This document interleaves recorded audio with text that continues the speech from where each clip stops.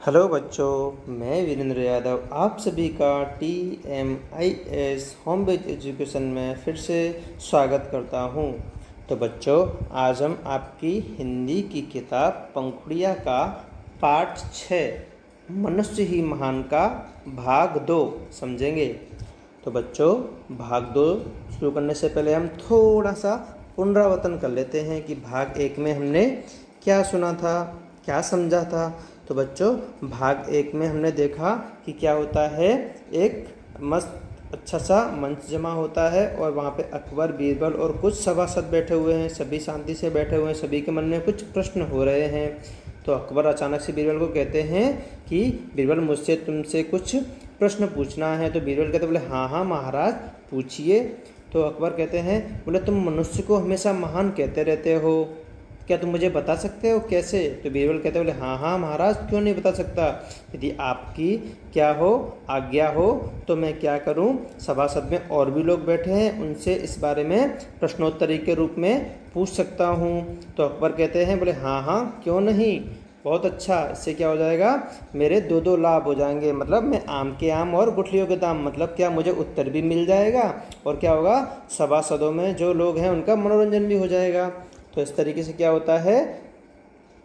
दोनों में बातचीत करते करते दोनों सभासद में आके आपस में बातें करने लगते हैं और बीरबल कहते हैं लोगों को कि आप मुझे एक प्रश्न का उत्तर बताइए। यदि आप उत्तर बता सकते हैं तो आप लोग भी मुझे प्रश्न पूछ सकते हैं। तो सभासद क्या होते हैं? आपस में बातें करने लगते हैं और कहते हैं, बोले, ये बीरबल तो हमेशा क्या करता है?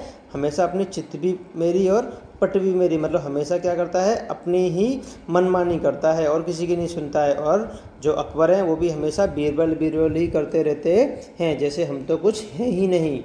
तो इस तरीके से क्या होता है?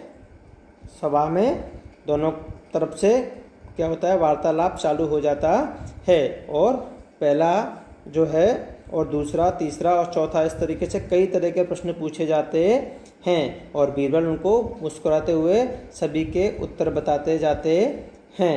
अब क्या होते हैं? जो चारों के चारों लोग हैं, पहला, दूसरा और तीसरा जो उसमें सभासद में बैठे हुए हैं, वो उनसे दो से दो दो बार प्रश्न पूछ लेते हैं और बीरबल उनका तुरंत उत्तर हँसते हँसते बता देते हैं। अब क्या होता है? बीरबल कहते हैं बोले ठीक है, मैंने तुम्हारे सभी प्रश्नों के उत्तर बता दिए हैं। अब तुम तैयार हो जाओ। अब मैं भी तुमसे कुछ पूछना चाहता हूँ। इस तरीके से बीरबल उन सभासदों को कहते हैं और उनसे पूछने लगते हैं। तो चलिए बच्चों वो क्या पूछते हम जानते हैं। तो बीरबल कहते हैं अगर ना होते हम धरती पर चाँद की चांदनी का क्या काम था काम? अगर ना हो हम धरती पर बोलो सूरज की किरणों का क्या काम? निर्मल नदियों की जलधारा व्यर्थ बहेगी सुबह शाम। अगर न होते हम धरती पर ऊँचे पर्वतों की है क्या पहचान? अभी क्या है? जैसे ही बीरबल उन सबको पूछते हैं तो सभी सभासद चुप हो जाते हैं। अब बीरबल पूछ रहे हैं, बोले, बताओ, यदि हम धरती पर ना होते तो चाँद और चांदनी का क्या काम था? कौन इसे पूछता? चाँद है और इसकी इतना सारा प्रकाश हो रहा है, चांदनी हो रही है। और उसके बाद कहते हैं, यदि हम ही धरती पर ना होते तो इस सूरज की किरणों का क्या काम है? सूरज की किरणें किस काम की? हम मनुष्य ही इनकी किरणों को काम में लेते हैं ना? इनकी सूरज की किरणों से क्या होता है? जग में प्रकाश होता है और उसे अपने तरह तरह के प्रयोग में लेते हैं। और उसके बाद कहते हैं कि निर्मल नदियों की जलधारा व्यर्थ बहेगी सुबह शाम। यदि मनुष्य ही ना होता तो भले इस दुनिया में कितनी सारी नदियाँ हैं, जिनका निर्मल जल हमेशा ऐसे ही व्यर्थ मतलब बिना कुछ काम के बहता रहेगा। हम मनुष्य हैं जो उस निर्मल नदियों के जलधारा का प्रयोग प्रयोग में लेते हैं, जैसे कि किसान अपने खेती में लेता है और हम लोग उसे अपने घरों में उपयोग में लेते हैं। तो उसी तरीके से बीरबल कहते हैं, यदि हम मनुष्य ही ना होते तो निर्मल नदियों की जलधारा का क्या काम होता? वो तो व्यर्थ में मतलब ऐसे ही सुबह शाम बहती रहती। उसके बाद उसके बाद कहते हैं, अगर ना होते हम धरती पर ऊँचे पर्वतों की क्या है शान? यदि हम मनुष्य ही पृथ्वी पर ना होते तो इन पर्वतों को ऊँचा कौन कहता? इनकी इतनी पहचान है, ये इतना ऊँचा है, ये इतना ऊँचा है।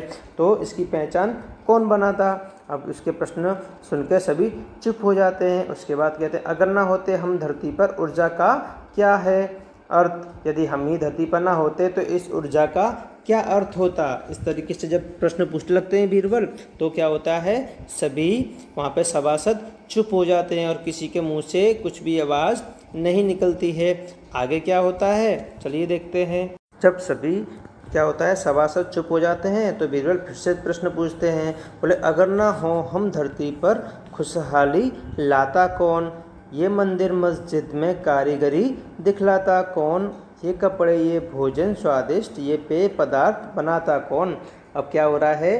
बीरबल उन सभी से प्रश्न पूछ रहे हैं, यदि हम ही धरती पर ना होते तो इस धरती पर खुशहाली मतलब खुश कौन रहता है? इतनी खुशहाली कौन लेके आता ये मंदिर और मस्जिद में इतनी अच्छी कारीगरी की गई है, इतने अच्छे से सुंदरता से जो बनाए गए हैं, वो कौन दिखा पाता? और ये सुंदर सुंदर कपड़े, ये स्वादिष्ट भोजन और तरह तरह के पेय पदार्थ, पीने वाले पदार्थ कौन बनाता तो इस तरीके से बीरबल उन सभी को प्रश्न पूछ रहे हैं और उनके प्रश्न पूछकर क्या हो रहा है? सभी सभासद चुप हो गए। किसी के मुँह से चू तक नहीं निकल रही है। एक आवाज़ भी नहीं निकल रही है। उसके बाद फिर वो पूछने लगते हैं, अगर ना होते हम सृष्टि को चलाता कौन? यदि हम ही इस सृष्टि में ना होते, इस दुनिया में, इस जगत में, संसार में ना होते तो इस सृष्टि को कौन चलाता? अगर न होते, हम तुम जीवन का सौंदर्य बताता कौन? यदि हम तुम इस दुनिया में ना होते तो जीवन का मतलब हमारे जीवन का जो सौंदर्य है, सुंदरता है, वो कौन बता पाता कि तुम इतने सुंदर हो, हम इतने सुंदर हैं, वो इतना सुंदर है, हरियाली इतनी सुंदरता होती है। यदि हम ही ना होते तो ये सौंदर्य जो सुंदरता है, कौन बता पाता, कौन बता पाता? उसके बाद कहते हैं, अगर ना होते, हम तुम इस भूमि का वंदन गाता कौन बोले? यदि इस पृथ्वी पर हम और तुम ना होते तो इस भूमि का, इस धरती का वंदन कौन गाता? इसकी, इससे प्रार्थना कौन करता? तो इस तरीके से जब बीरबल पूछने लगते हैं तो सभी सभासद चुप हो जाते हैं और कोई भी उसके प्रश्न का उत्तर नहीं दे पाता है। और ये देखते हुए क्या होता है? अकबर बहुत ही खुश हो जाते हैं फिर से और बहुत ही प्रसन्न होकर कहते हैं, शाबाश, बीरबल, शाबाश। मतलब कहते हैं, बहुत अच्छे बीरबल बहुत अच्छा बहुत शाबाश। तुमने तो मेरी जिज्ञासा को शांत कर दिया। अब क्या कह रहे हैं, अकबर खुश होकर बोले, तुमने जो मेरी जिज्ञासा है, जो जानने की इच्छा है, उसे क्या कर दिया? शांत कर दिया। मतलब मेरी जो जानने की इच्छा थी, वो पूरी कर दी। सचमुच मनुष्य ही महान है। अकबर कहते हैं, बोले हाँ सच ही कहते हो तुम। वास्तव में मनुष्य ही महान है। यदि मनुष्य ही ना हो तो इस धरती पर सूरज, चाँद, चांदनी, प्रकाश और जो क्या है, बादल, पानी, नदियाँ, कपड़े, भोजन का कुछ भी काम नहीं है। यदि मनुष्य ही ना हो तो कोई भी किसी का गुणगान कैसे करेगा? सृष्टि में सभी चीज़ें क्या है? व्यर्थ हैं, कुछ काम की नहीं हैं। इसलिए मनुष्य ना हो तो इस सृष्टि का कोई अर्थ नहीं है। तो बच्चों, इस तरीके से बीरबल सभी प्रश्नों के उत्तर देखे वापस से अकबर का मन जीत लेते हैं और सभी सभासद फिर से चुप हो जाते हैं और उनका कोई भी उत्तर दे पाता नहीं है। तो बच्चों, इस पाठ से हमने यही सीखा कि इस दुनिया में जो सबसे महान है वो हम मनुष्य ही हैं, हम इंसान ही हैं, जो क्या, जो चाहे वो कर सकते हैं। बाकी पेड़, पौधे, जीव, जंतु भी इस, वो नहीं कर सकते जो हम इंसान कर सकते हैं। इसलिए सच में कहा गया है कि मनुष्य ही सबसे महान होता है। तो बच्चों, मैं आशा करता हूँ आपको इस पाठ में सभी चीज़ें अच्छे से समझ में आ गई होंगी। यदि किसी को कुछ समझ में ना आया हो तो आप मुझे कमेंट बॉक्स में पूछ सकते हैं। धन्यवाद।